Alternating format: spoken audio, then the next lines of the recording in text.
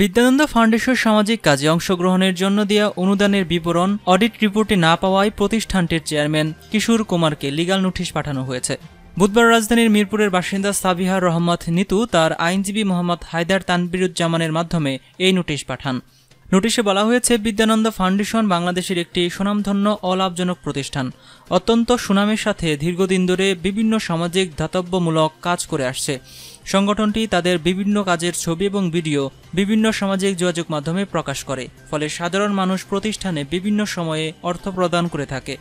সাবির রহমান, নিতু সংগঠনের সামাজিক কাজে অংশ নেওয়ার উদ্দেশ্যে ফাউন্ডেশনের অ্যাকাউন্টে দুই দফায় চল্লিশ হাজার পাঁচশো টাকা প্রদান করেন।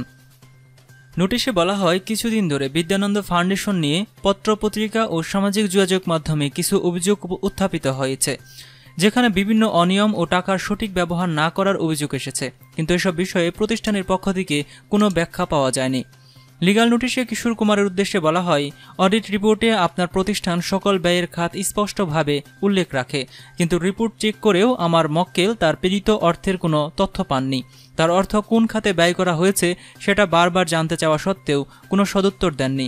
তাই এই নোটিশ পাওয়ার পরবর্তী তিরিশ দিনের মধ্যে চল্লিশ হাজার পাঁচশো টাকা কোন খাতে ব্যয় করা হয়েছে তার সঠিক ব্যাখ্যা প্রদান করবেন। অন্যথায় দেশের প্রচলিত আইনে আইনগত ব্যবস্থা গ্রহণ করা হবে। এর আগে রাজধানীর বঙ্গবাজারে পুরা কাপড় দিয়ে তৈরি অলঙ্কারের ছবি নিয়ে সমালোচনার ঝড় উঠে বিদ্যানন্দ ফাউন্ডেশনকে নিয়ে। প্রতিষ্ঠানটির আর্থিক সচ্ছলতা নিয়েও কেউ কেউ অভিযোগ করেছেন।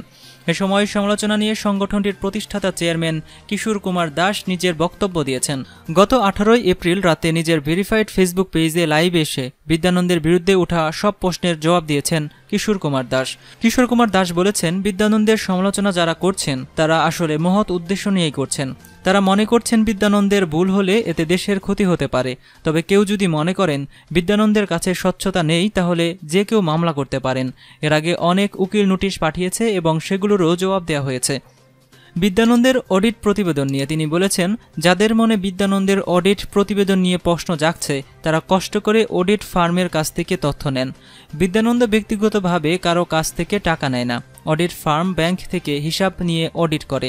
তাদের বিভিন্ন ভাউচার দিতে হয়, নিয়ম অনুযায়ী ট্যাক্স, ভ্যাট সব পরিশোধ করা হচ্ছে।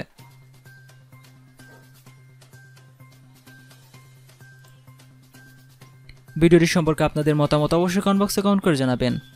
বিশ্বের সর্বশেষ নিউজ সবার আগে দেখতে আমাদের চ্যানেলটি সাবস্ক্রাইব করে পাশে থাকা বেল আইকনটিতে ক্লিক করে রাখুন। এতক্ষণ সাথে থাকার জন্য ধন্যবাদ সবাইকে।